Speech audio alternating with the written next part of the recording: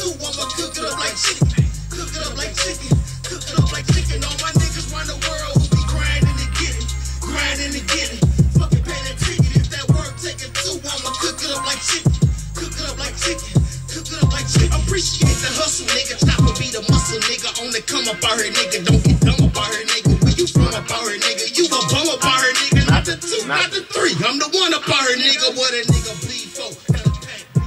What up, though? OG Kenny, O underscore G underscore Kenny at Retire from the Streets TV. Welcome to another installment. Listen, I'm so mad. Y'all see my post last night? Listen, I kept going to the laundromat thinking they got better Wi-Fi. I don't know what YouTube was on. I didn't Google the problem, figuring out what's going on. I don't know. what I think. Listen, something up with me and them church crime sunnies. Every time I try to drop one lately, it's been a problem.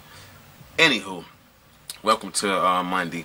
Hope everybody had a beautiful weekend. There's been a lot going on in the city of Detroit. A lot of shootings, a lot of uh, random violence. I don't know. People that lost their mind. All that PPP money then ran out. All that free money that everybody was getting. Everybody got to get back on their grind. I don't know what the problem is, but I wish everybody could return back to a sense of normalcy and chill out, man. The summer about to be over with, man. I don't know what's people going with with summer separation anxiety, but it's crazy, you know. So just think about stress and tension, period, right? This time of year. Um, like I've been telling y'all recently, I'm at Macomb. I came back from Virginia. This is round, well, it's a little further along this time of year. It's about maybe like Novemberish, right? But the weather has changed dramatically. It got real cold that winter. And you know how the winter time go up here in Michigan anyway. It get dark when it get winter early. So you got to figure 5 o'clock it's dark. So me and a lot of these young dudes that I'm dealing with at the time, you know, you know, some of them it's their first time locked up. But then you got some dudes that I was around at the time who was 20 some years old, 24, 23, 25, who had been locked up six, seven years, almost a decade already. So they spent the rest of their teen years and all of their 20s up to that time incarcerated. One one brother in um, in particular, my Moorish American brother, young young Bay. His name is not Young Bay, but he was a young Moorish American whose last name was hyphenated with Bay. So um, what I'm um what I'm trying to like at the time, me and him, me and him got real tight over just religious studies. Period. Right, so you know, we had a tight camaraderie, man, man and brother. You know, over the course of like, you know, the few weeks I was there. Well, actually, we had a couple of brief encounters in Virginia, but then we got back up to Michigan and Macomb. It was more or less like, bro, I seen you down there. You know, we didn't really have a chance to really build like we wanted to. So we started building. You know, building is when you really have an exchange of thoughts and ideas that are helping each other elevate. And that's what we were doing. We was building, cracking atoms, whatever you want to call them, sparking atoms, right? So um, that's what we was doing, having a lot of conversations about um, metaphysical belief systems, how the pyramids were built, and whatnot. I told him about the time with me and the brothers, um, the boy I told you, uh, Pretty Boy Myrell, my man um, Dean X, um, Notar X, and my man Ishmael Bay. We were all coming up with our own religion at the time. So we got into some heavy conversations, especially us being young dudes, and this dude being a young dude who had been locked up already almost seven going on eight years. The thing was, though, out of all of his spiritual resolve, all of the strength, strong, got he the one who helped me get my pull-up game real crazy because that's all he used to do: pull-ups, dips, and whatnot. Matter of fact, shout out to Broly Gangs, Do these, You know, if y'all ain't shot, um, following Broly, Broly Gangs and the whole um, Goku Pump um, movement, do that. Them boys have been motivate me to get back up my bar game. But at the time. This was my dude, the young brother, um, Moorish brother. Got my pull-up game, my push-up game, and all that through the roof. And but I could see something underneath the surface, right? When you're around a dude for weeks and weeks at a time, and y'all having conversations, one thing about an individual do not lie. I don't care what they say, and that's the look in their eyes when they talking to you. So I even when we were having real deep conversations, even when he was laughing about certain things, you could see a somberness, a sadness right in that man's eyes. And so one day I cut into him. I'm like, bro, why it seem like you you be you you all right, but you you depressed. Now, mind you, up to this point, we haven't really talked about our backstory, how we got to prison, why we there in the first, how much time we doing. So when he looked at me, he said, bro, I'm some real stuff, man, I ain't gonna never be happy, bro. He said, I can't never be happy, man. He said, because where I'm at right now, and just thinking about a life I took, and I tried to take another life. He's like, the person I am now ain't nothing like that, man. He said, so that bothered me. I see that man's face all the time. When I'm half asleep, when I'm walking, when I'm eating, if a certain song come on. He said, that's why I don't listen to no rap no more, bro. He said, because every time they talking about doing a drive-by, doing a shooting or whatever, all they do is trigger that, and it, it take me right back to that place. He said, so, you know, I ain't never going home. I ain't never going home.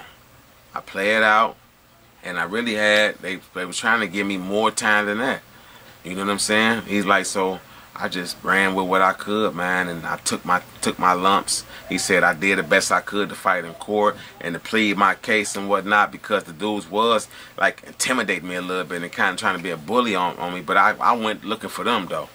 Instead of letting them come to me and in my space and then being able to say I was defending myself, I went looking for them and I was wrong because I basically hunted those dudes down like they was prey.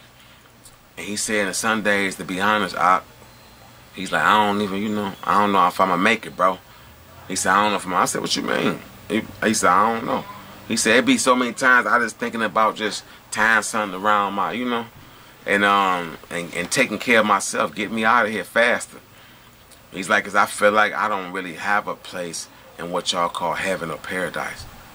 This is a deep conversation coming from a dude that I got close with, and it's like hit me all. in. I'm like, damn, you know how they say, watch you ask, watch you ask for rather that's one of them things like I should have kind of been cautious in them steps, but I'm glad we had this conversation because when I'm talking to his bunkie, like a day or two later, and I'm like, man, just keep an eye on bro. He said, I'm glad you said that, man. He said, because he being there on some different stuff now, man. He don't talk no more in the cell. He don't say nothing to me. He'll nod or whatever, or might say, what up during the morning or whatnot. He said, but after that, we, we he said, we ain't talking about two weeks, bro. He said, we ain't had a conversation. He said, we used to be kicking it about sports, religion, music, politics, all that. He said he just shut down on me. And when I found this out, being that's my man, and I had already crossed that, that line anyway and, and, and got all in his business, I just was like, bro, you good? You ain't think about, you know? He said, yeah, I am. He said, I think about it every day. He said, I'm sick of it, man. He said, I've been here almost 10 years, man, a few years. He said, man, I ain't never seen nothing. He said, I ain't never been with a female. He said, you know what I'm saying? He said certain things that just bother me, bro. And I don't know if I'm going to be able to deal with it. And in and, and that story, man, it's like the brother didn't do nothing to himself. You know what I mean? I ended up, um, I wasn't with him very long. I'll say that much, right? Um, and we didn't really keep in contact, to be honest. So my thing was, though, looking back on a lot of these young dudes that I see now in the news. A lot of, like we used to call them first 48 babies. All them little young dudes that get on there and get to run their mouth too much, telling on themselves and whatnot. I seen it in a lot of those dudes that come in, never been with a woman, haven't experienced nothing, never, a lot of times had a full-time job, right? Never owned a vehicle, never had their own apartment or nothing nowhere. So you got these dudes that are coming into prison as babies, not even knowing themselves, sentenced to life in prison. You understand what I'm saying? Even at early 20s. Come on, I was 21 when I got incarcerated. I didn't know. I knew a lot of things as far as firsthand experience and working and moving around and whatnot. But I ain't know nothing for real. I found out a lot of stuff later on, later on in life. You understand what I'm saying? That's, you know, so I, I say that all these times when I say these stories, every time I tell a story, I'm saying what I'm saying to help keep some of you young dummies up out of prison. Because a lot of y'all really, really out there running around like it's a video game. Y'all think y'all playing Grand Theft Auto and y'all taking lives. Y'all running from police. Y'all hitting innocent bystanders with these cars and whatnot. And then when y'all sit in these courtrooms, y'all think it's gang gang. I'm on TV. I'm about. To... But when y'all get sentenced and that door closed and that first, second, third, fourth, eighth, tenth, twelfth, fifteenth year then pass, and you realizing, dog, I'm still young but I'm never going home. You can live, especially in prison, because you're not dealing with a lot of pollution. You're not dealing with a lot of toxins, right? You're not dealing with a lot of bowl, over-processed food unless you're just eating cook-ups all the time, right? But even then, you get burnt out on that. But you got a longer time span to live potentially in, in some of those situations. You got to do that might later be 80, 90 years old and been locked up since he was 17. You hear me? And, and, and end up passing in prison.